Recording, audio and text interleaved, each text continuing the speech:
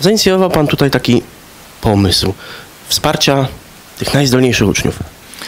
E, tak, ja nie wiem, czy jestem inicjatorem, ale e, sam osobiście uważam, że mm, należy patrzeć na e, zdolną grudziącką młodzież z szerokiej perspektywy horyzontów jej rozwoju w niedalekiej przyszłości. Dlatego też mając na uwadze to, że bardzo często odwiedzam placówki edukacyjne, no nie tylko w Grudziądzu, e, ale też w całym e, tutaj województwie, m, dostrzegam konieczność wsparcia młodych, e, zdolnych ludzi, którzy legitymizują się już e, niebywałymi osiągnięciami, już nie tylko na arenie e, miejskiej, ale wojewódzkiej, ale przede wszystkim ogólnopolskiej. I okazuje się, że i tutaj w Grudziądzu mamy bardzo wiele młodych, zdolnych grudziądzan, e, uczniów e, zarówno szkół podstawowych, jak i gimnazjalnych, którzy mogą się e, po prostu legitymizować niesamowitymi osiągnięciami. No I i właśnie to pytanie, bo jest dużo zdolnych.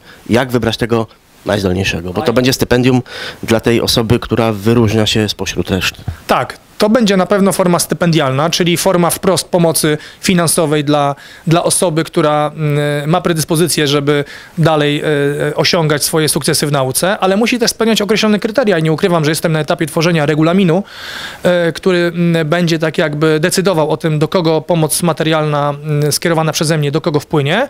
Będzie to szereg e, uwarunkowań. Jednym z podstawowych to na pewno będzie średnia, średnia ocen.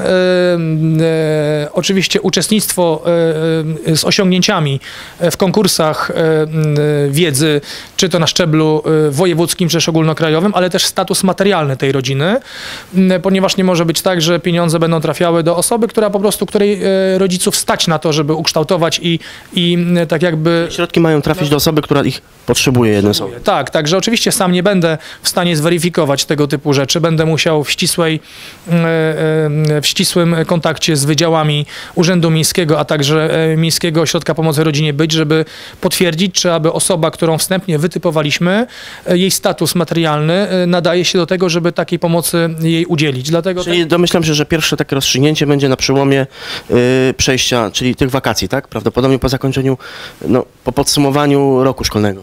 Pierwsze rozstrzygnięcie będzie już niebawem, ponieważ taki uczeń został przeze mnie namierzony, może w odwrotnej sytuacji. Najpierw dowiedziałem się o jego licznych e, sukcesach. Sam zresztą byłem świadkiem, jak sukces odnosił, ponieważ e, uczestniczę w wielu konkursach, czy to w Zespole Spu- Szkół Ekonomicznych, czy też konkursach organizowanych przez Młodzieżową Radę Miejską, gdzie widziałem e, tego, e, tego chłopca, bo to będzie chłopiec, to jest chłopiec, który naprawdę swoją wiedzą, przygotowaniem i doświadczeniem mm, e, wywarł na mnie ogromne wrażenie.